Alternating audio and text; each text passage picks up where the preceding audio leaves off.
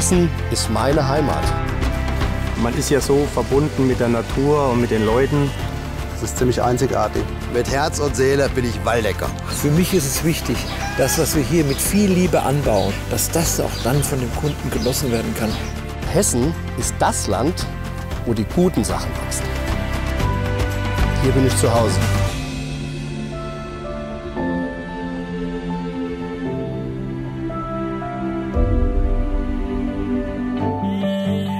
Landwirtschaft, das ist zum einen die, die Liebe zur Natur.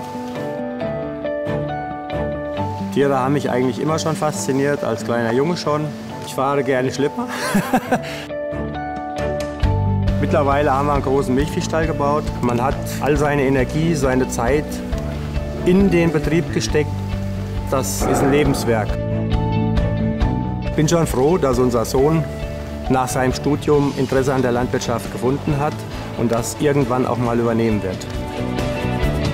Man ist hier gut aufgehoben in Hessen. Ich bin selbst in Verbänden organisiert und wenn man Probleme hat, also es wird einem schon geholfen und ich denke mal, da steht man nie alleine, wenn es Probleme gibt. Ja, es ist ein gutes Gefühl.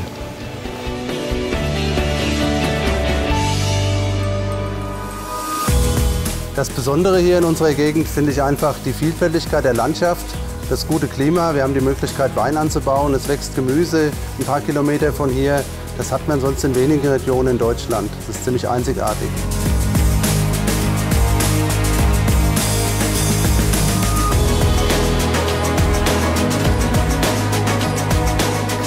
Nach außen sieht es aus, dass wir nur auf dem Schlepper sitzen und ein bisschen durch, den, durch die Felder fahren.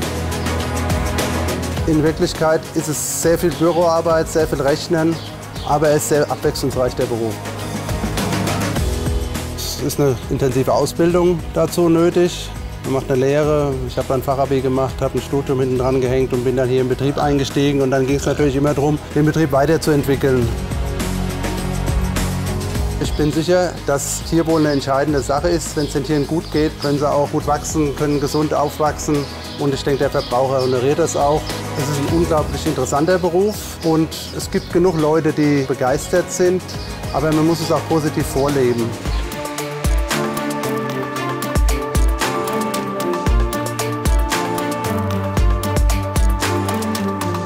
Also mein Großvater war Landwirt, mein Vater war Landwirt und da ist es eigentlich so in der Familie dann ganz normal gewesen, dass ich auch Landwirt werde.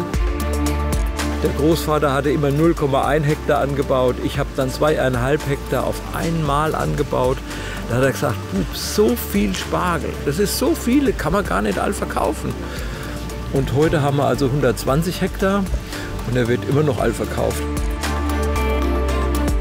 Was liegt näher, als dass wir die Produkte, die man aussieht, die man bei ihrem Wachstum begleitet, auch direkt an den Kunden verkauft.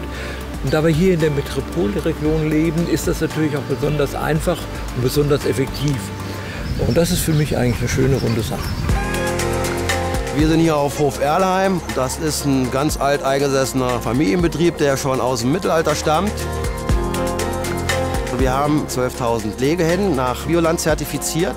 Ich habe mich dafür entschieden, ökologisch zu wirtschaften, weil das für mich der richtige Weg ist, wobei ich auch die konventionelle Landwirtschaft genauso schätze. Da ich ja hier noch was auf die Beine stellen möchte, muss man da schon in relativ jungen Jahren dran gehen. Ich mache den Beruf mit voller Überzeugung und mit Spaß bei der Sache. Ich genieße diesen Job, auch wenn es teilweise sehr anstrengend ist. Zum einen so, dass ich meinen Betrieb noch weiter zukunftsfähig ausbauen möchte, meinen Kindern eine Zukunft bieten möchte. Und es ist letztendlich auch ein Markt, der langfristig interessant ist. Wenn ich mit einem Kopfschmerz in die Zukunft schauen würde, wäre ich falsch in diesem Job. Unser Betrieb ist ein ganz kleiner Betrieb in der vierten Generation. Wir produzieren ausschließlich Kräuter. Gärtner bin ich geworden. Ja, warum eigentlich?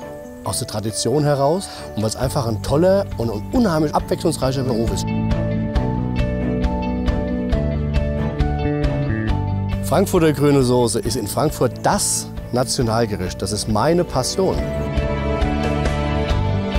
Das ist ein ganz klarer Trend zu regional und saisonal. Und das freut mich wirklich sehr, sehr, weil früher war es anders. Und jetzt haben die Leute wieder erkannt, der Bauer vor der Haustür ist mein Freund.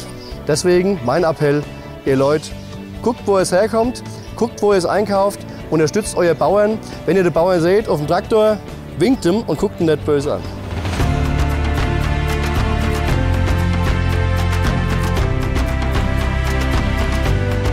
Meine Familie ist seit 1000 Jahren nachweislich in Frankfurt. Wir haben es 1000 Jahre geschafft. Ich hoffe, wir schaffen es auch die nächsten 1000 Jahre.